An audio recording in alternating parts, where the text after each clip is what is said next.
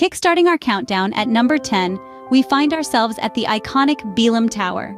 Embroidered with the rich tapestry of history, this sentinel of the Tagus River stands as a testament to Lisbon's maritime glory days.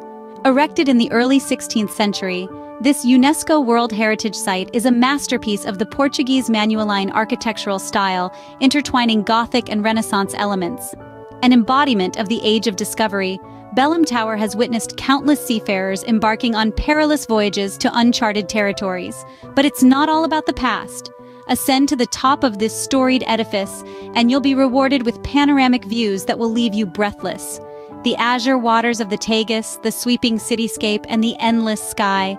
A vista that's worth every step. So, if you're a history buff with a craving for stunning vistas, Belém Tower is a must visit. Moving on to number 9, we step into the serene Igreja de São Vicente de Fora. Nestled within the charming streets of Lisbon, this church is a beacon of tranquility amidst the city's hustle and bustle.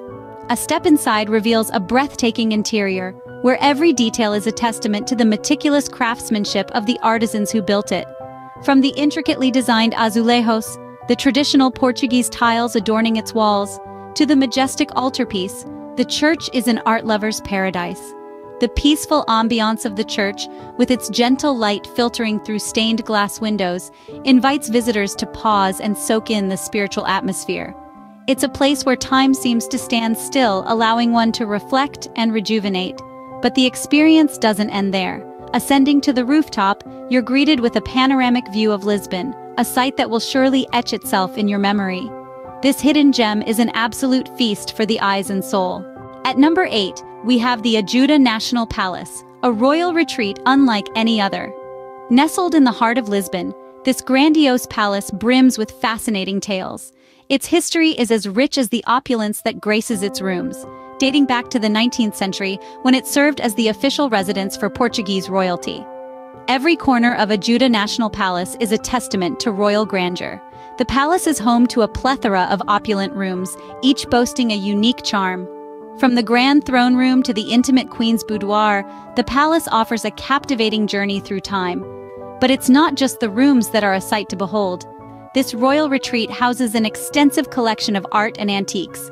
Each piece echoes the palace's illustrious past and the vibrant culture of Portugal.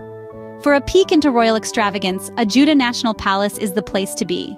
Next up at number 7, we delve into the spiritual heart of the city, the Lisbon Cathedral.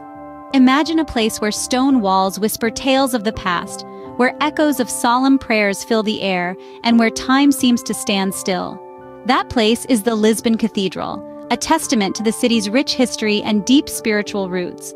Constructed in the mid-12th century, the cathedral has stood as a symbol of faith and resilience amidst the city's changing landscape. With its stunning blend of Romanesque and Gothic architecture, the cathedral's imposing facade and intricate interior never fail to captivate visitors.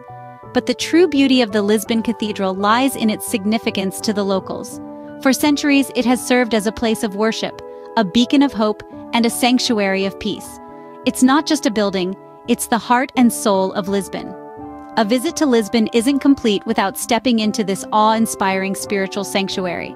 Halfway through our countdown at number 6, we marvel at the engineering genius of the Aqueduto das Águas Livres, this grand aqueduct, which means aqueduct of the free waters, is a testament to Portugal's rich history and innovative spirit. Constructed in the 18th century, it stretches an impressive 18 kilometers in length, cutting through the landscape of Lisbon and its surrounding areas. Its primary function was to solve a pressing problem of the time, bringing clean, fresh water to the city's inhabitants. The aqueduct not only served its purpose brilliantly, but also stood strong against the infamous earthquake of 1755, which devastated Lisbon.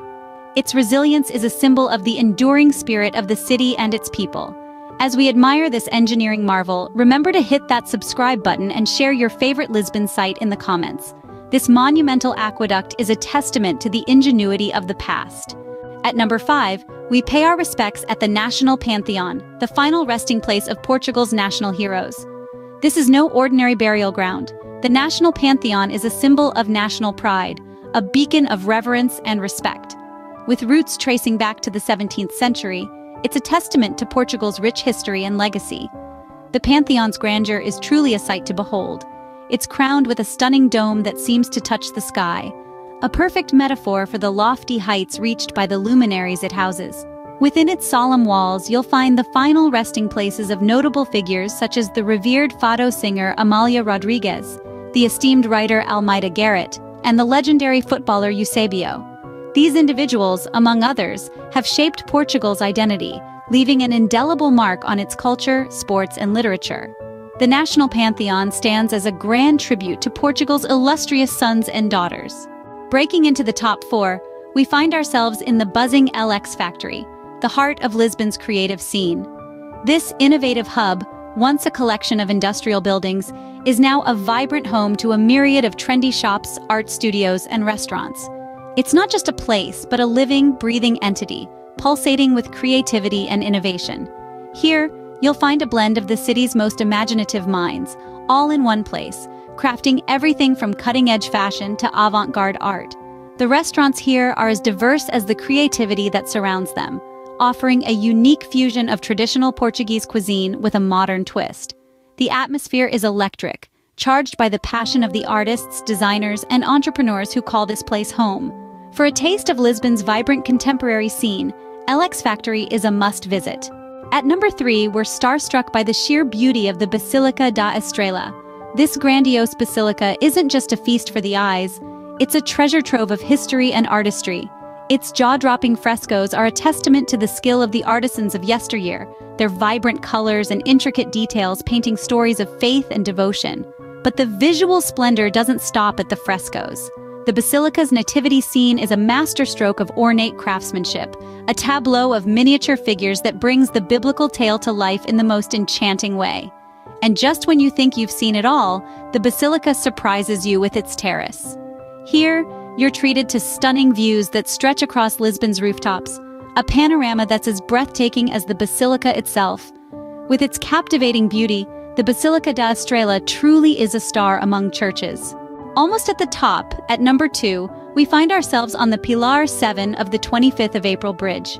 This isn't just any bridge, folks. It's a bridge that tells stories, paints pictures, and provides a view that is unparalleled. Imagine standing high above the ground, with the city sprawling beneath you like a vibrant tapestry, woven with threads of history and culture. The Tagus River glimmers like a silver ribbon, threading its way through Lisbon's heart. The sight is enough to make you catch your breath and hold it, as if in a silent salute to the city's beauty. And the thrill, the thrill of being so high above the ground, with the city spread out beneath you, is a unique experience. It's the kind of thrill that makes your heart beat a little faster, your eyes shine a little brighter, for a view of Lisbon like no other, Pilar 7 is the place to be. And now, we've arrived at our number one spot, the majestic ruins of Convento do Carmo. This unforgettable site is steeped in history, a silent witness to the passage of time. Founded in the 14th century, the convent was once a thriving center of Carmelite life until the devastating earthquake of 1755 reduced it to ruins. But these ruins, with their Gothic arches reaching towards the sky, are not a symbol of defeat. They're a testament to resilience, to the enduring spirit of Lisbon itself. The Convento do Carmo stands today as a serene and contemplative space. Its open roof, now only the vast expanse of sky, lets in the gentle whispers of the wind and the warming rays of the sun. Amidst the hustle and bustle of the city, it offers a moment of tranquility, a step back into another era.